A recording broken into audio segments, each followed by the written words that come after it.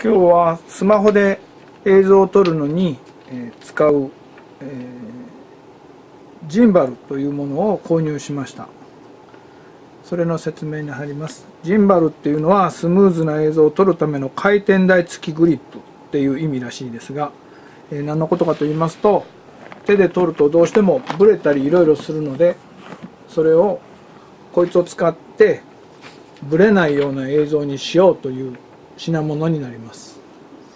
でこれはもうこの見たようにこういう台を買ってスマホを挟んで撮ります。でこの軸が1個2個3個ここに書いてますけどもこの3方向の軸をこいつで調整しながらできるだけスムーズな映像を撮るようになってます。でこれを選んだ理由の一つはかっこいいケースがついてますのでなんとなくいいなと思って購入しました。これがそうですね。で裸のままリュックに入れてっていうことがないのでこのハードケースがついてるのがいいなと思って購入しました。開けるとこういうふうに説明書ですね。英語と日本語とであと何かついてます。入ってるものは本体。これが本体になります。それで、え、これは乾燥剤がなぜか入ってますけどもあとこういう補助具ですね。それとケーブルになります。でこれ自体のこれ自体をどうこうするのはこうめくると2つありますけれども1つは充電用のやつです。この本体に充電します。こいつも電気を使います。それでここに貯めた充電を使って、えー、この USB ケーブルを結ぶことによってスマホにもバッテリーが供給できるようになっています。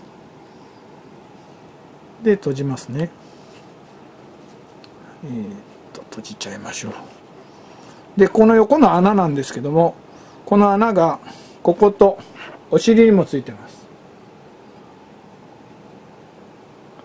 でこの穴が何のためについてるのかというとこの補助具ですね。補助具を使うようになってます。これを下に差し込んで広げるとスタンドになります。それでこう使わずにここに刺すとグリップになります。これ見てわかるように少し重いです。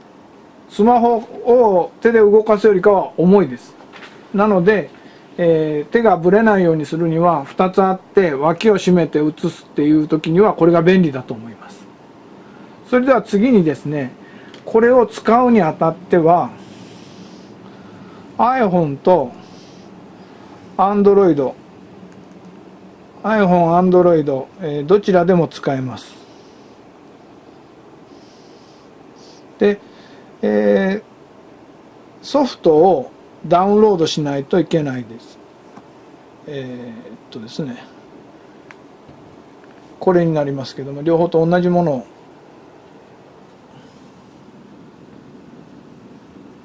こういうやつですね。ここもこいついきますよ。こここいついきますよ。同じものが入ってます。こっちあの iPhone 用でこっちが Android 用になりますけども。でこのケースをつけたままではちょっと難しいのでケースから取り出します。ちょっと待ってくださいね。で、えー、取り出して使えますね。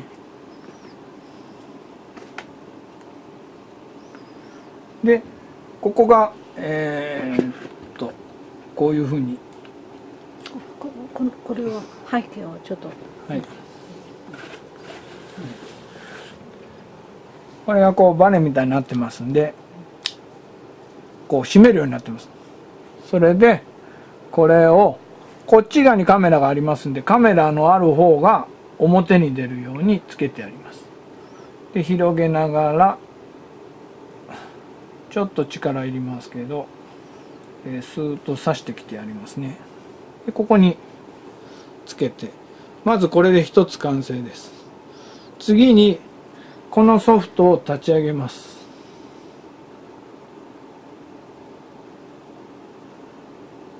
でこのソフトを立ち上げると同時にこいつもですねここのボタンここにモードのボタンがあるんですがこの一番下のボタンが電源ボタンになります。これを長押しします。今電源が入りましたね。ぎゅーっと立ち上ってきましたよね。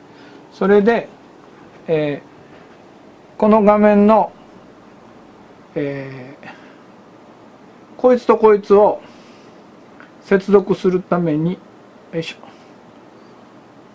Bluetooth で接続しますので今接続になりました。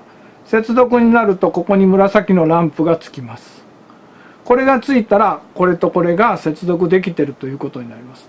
そして接続できるとどうなるんだっていうとここにこの下にレバーがあってワイドとズームアップできるものがあるんですがこれを使う時に接続してないとダメです。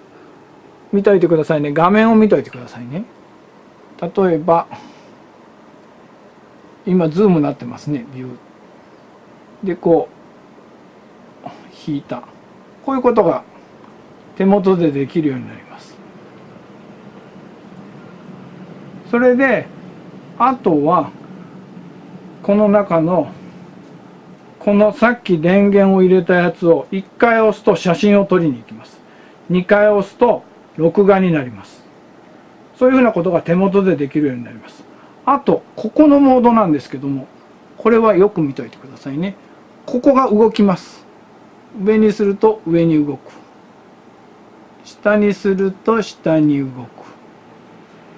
戻して右に振って左に振ってっていうようなことがここでできるようになります。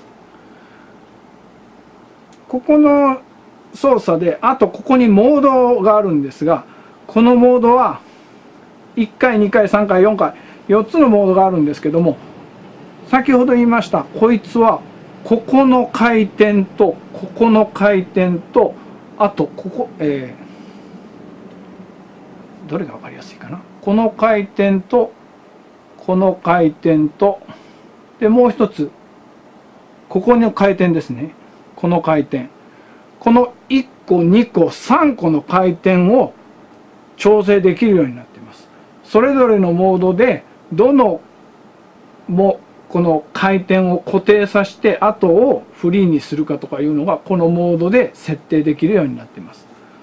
でこれは何がいいかと言いますと例えばこの今この障子のドアノブを映してますけどもずっと追いかけてますよね。ぶれない。これ今モードが違うのでこうやって追いかけませんけどどちらにしてもねこう手で手でやるよりかはずっと一個を見てくれる。であとこの中にですねこのソフトの中にいろんなソフトが入っています。顔認証って言って顔認証を押すと顔を見つけるとそいつをこいつが勝手にずっと追いかけるようなモードとかいろいろ入ってますけどもまたそれはえっと今まだ使い方があんまりよくわかんないので分かった時にまた説明したいと思います。以上これを出した時の話ですね。